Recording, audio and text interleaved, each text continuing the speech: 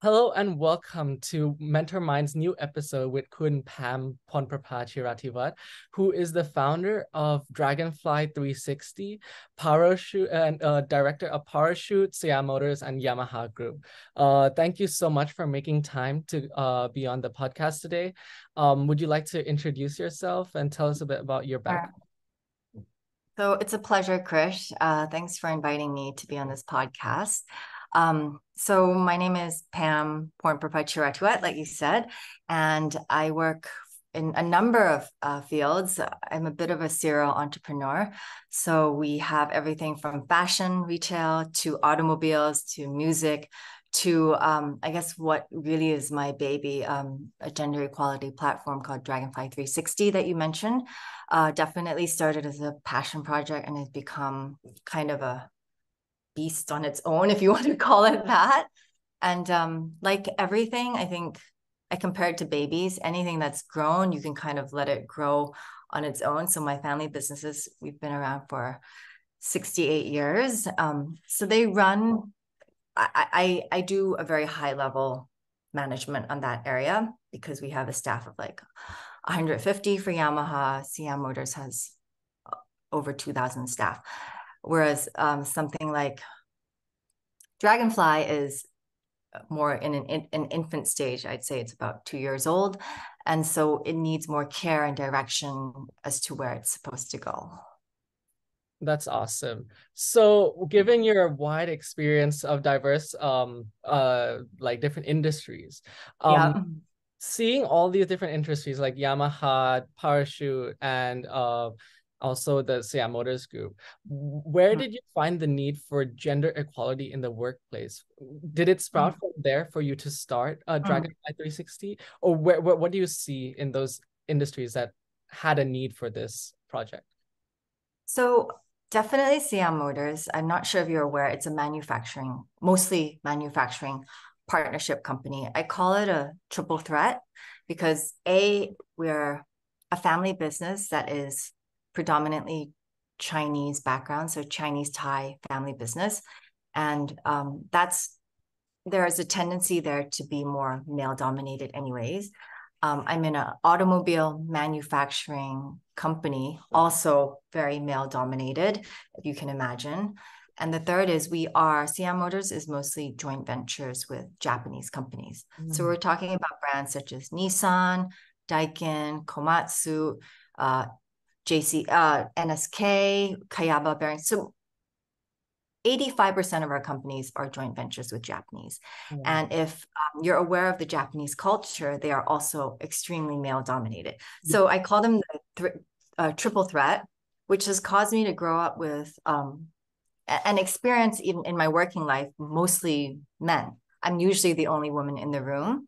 Oh. And as a result, I think um, that whole that whole uh, experience growing up has has allowed me to understand the challenges that women face more because I personally went through them, and um, as a result, I wanted to just spread the word and let everybody understand that it's not always easy, and you kind of go out of balance, and you you experience a lot of um, sexism without mm. knowing it. You kind yeah. of don't really you just kind of get through it but then when you think back and you say wait that wasn't really right and how can we what can we do to shift it and make it better for the gener the next generation Wow, that's amazing. Because definitely the male dominated fields um are like as you said, you're probably in the most male dominated fields, and it's really nice to see this movement. So as this is a podcast for the youth and aspiring youth entrepreneurs, what would you what is your best advice you would give to uh young female uh, aspiring entrepreneurs who are uh, looking to pursue in their entrepreneurial endeavors, um, what would you say is the biggest thing for them to look at when they are in this male dominated field of um, various industries? I mean, I can speak from my own experience what what I did wrong, and I think that's the only way you really learn is when you reflect on what you did wrong. And for me, I tried to be one of the boys, so I tried to really fit in. Um, and as a result, the traits that are strong for women, which are like collaboration, communication, empathy, all those traits, I just threw it out the door and I almost like became I tried very hard to be to fit in. And so mm. my biggest advice there, and even like we're talking not only during work, because work doesn't just end at work, right? It bleeds into the golf course on the weekends. It bleeds to like karaoke at night. Like a lot of deals happen outside the working hours. And that's when you realize like you just don't fit in. And as much as you try, like they don't really want you there. They still see you as a woman. So I guess my biggest advice is to just be yourself and hone on those skill sets because there are a lot of skill sets that are extremely positive. Actually, most of the skill sets um, in work are are considered you call them yin yang, like feminine traits, and you need both of them in order to advance in the workplace. So my biggest mistake was trying to fit in and trying to to hone on to more aggressive male dominated traits, which work for a very short term, but in the long term, it doesn't really quite work. And so, my biggest advice would be just continue to be yourself, believe in yourself. Um, women also don't tend to speak up as much mm. or ask for things such as like a raise. What's it? They just kind of tend to suck it up and just put their heads down and do it. And so, I guess the two things would be be yourself and speak up and ask and say things that like um that that provoke that that allow you to get ahead um, whether it's a raise or uh, uh, uh, wanting to be part of a certain project like women tend to just not speak up as much so i would say speak up and don't don't be shy about it there's a label that also often goes around being like oh if you speak up you're going to be bossy like who cares you can be a bossy boss and you just gotta you've just gotta not care and just let it flow yeah. That's amazing. So uh, you picked up on communication and collaboration uh, as um, like key traits that you may have experienced. How do you see that um, uh, fruition into your different fields of your business, uh, various businesses? How do you see the importance of that, as well as how has you being a woman help with that as well, as you mentioned? So I think with every business and maybe that's why i'm able to do so many different types of businesses it's really a people's game so you're it's about managing the right people leading lead i mean being able to manage correctly lead in a way that's um, admirable and and um, adapt to many different types of circumstances that get thrown at you. Because there's never going to be anything that is going to be stable and sta- stable growth is like it's a dream. Mm. and especially now in this day and age like everything is so turbulent everything is so unstable everything is so uncertain. So that ability to communicate and collaborate and adapt um, i see play in so much of everyday's life. And as a woman i think um, and i don't mean to stereotype men but oftentimes in a room there are there's a lot of ego going along mm. and not as much um what what's the right word? Uh an ability to just reach a consensus. Everybody kind of wants their own way but that's really hard to move forward. And the reason i like dragonfly 360 and what we actually do is called dei training um, which is diversity equity training and inclusivity. It's because everybody has their own opinion. You just need to be able to spot out who's got what strengths to do what and use them at that particular time in order to push ahead more quickly and and and further. So those I think are really important things that um, collaboration uh, plays a key role in in everything you do, right? In teamwork, and even your friends. Like you're starting from young, almost. Like everybody has a different opinion in what they want to do, what they want to eat, what they want to mm, party, or whatever it is. But it's about reaching that consensus where everybody feels like they're happy, and that's mm-hmm. like a very key strength I feel in in everything I do. Like no one's always right, no one's always wrong, but it's just more about communicating and figuring out like how do we move forward where everybody is kind of happy with the choices that we're making. That's amazing. So my next question would be uh how has your leadership style adapted during as as we know nowadays everything's moving so fast with uh disruption with covid uh, so many different external factors. How mm-hmm. has your leadership uh, style adapted to that as well as using uh key things like communication and collaboration or what you do uh to motivate your uh employees? How do you use that or what is your style? So in the past, I would say my leadership style was more I'm leading and people are following. Um, and that works for a while until you burn out because mm. you're it's a lot of energy to be able to pull so many people behind you. Um, and it wasn't until you know much later and and me realizing that I had burnout and I couldn't continue to do this, that I had to adapt and realize, oh, there's another style of leading, which is you're leading from the middle. So I don't want to say from behind because behind is exhausting too. You can imagine, right, Krish, like pushing, I don't know, 200 to 1,000 staff in front. So leading in the middle is a very beautiful thing. And the whole thing about um, Dragonfly 360, we call it leadership and balance. So there's the balance of the yin and the yang, and there's also the balance of leading in the middle, where you're pushing just enough to for the the leaders that matter to be able to be inspired to to have initiation on their own. And at the same time you're leading by example to people who still need mentoring and and a little bit of um, inspiration i would say. And and there and maybe they don't have enough experience in order to continue to move ahead. So there there's a fine balancing act that's happening there. Um, and because i do yoga I, I love this whole thing about balance where it's it's truly a it's truly a mental balancing game where you know exactly how much to push for the mm-hmm. best results and yep. if that person is not performing their best results, you know exactly when to push them and uh, when to let go and say that that's enough. And mm. that skill, I think, is also a quite a feminine trait to be able to have that empathy to understand um, when to push and when to pull. Mm, for sure. So, talking yeah. about balance, how do you mm. manage to balance across so many different uh, businesses and projects? you know, I get asked that question a lot. Uh, uh actually, the question I get asked a lot is like, how do you do it all?